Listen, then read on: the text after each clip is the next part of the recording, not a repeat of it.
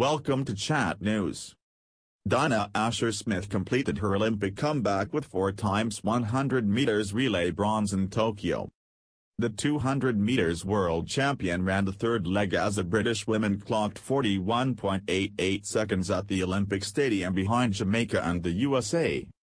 Asha Philip and Daryll Neita add to the relay bronze they won in Rio while Imani Lara Lansiquot claims her first Olympic medal. These things do happen.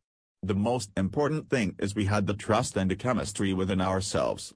We knew we were going to get it round and we're going to get a medal. Asher Smith said, I saw quite a few people and was like time to move but I'm one of the best bend runners in the world so quite frankly it was something I take quite naturally, just lean into the bend and make sure I come into Daryll like a train. The British men's 4x100 m team claimed silver after being beaten on the line by Italy.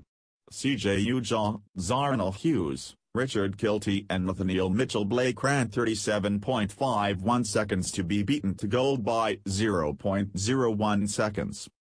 Kilty told the BBC, after the heat we knew we had to pull it out, we had to give it everything. We were prepared to die and that's what we said. We're Olympic silver medalists, what more can we ask for? Last Olympics we finished fifth and we knew we were coming out here with no less than a medal. We went to win it. We were unlucky but this is unity, this is a team and we were in it together and we absolutely pulled it out as a quartet. In 20 years time when we're old and retired we'll look back at this night as one of the best of our lives. Mitchell Blake, whose disappointment was obvious as soon as he crossed the line, said, Apologies if I seemed ungrateful at first, it's just that we put a lot of work and effort into this and we truly believe that we're the best quartet in the world and we want to display that when the time comes. Kilty then added, this man ran an amazing leg.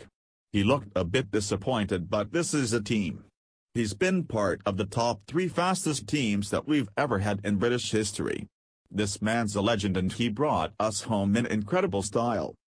The silver and bronze were added to Team GB's athletics medal total after Laura Muir won silver in the 1,500 meters earlier on Friday night following Holly Bradshaw's pole vault bronze and Keely Hodgkinson's 800 meters silver in the week. Result, Dina Asher Smith completes comeback as Great Britain claim relay bronze in Tokyo heartbreaking story behind 14-year-old Olympic gold medalist who dives to make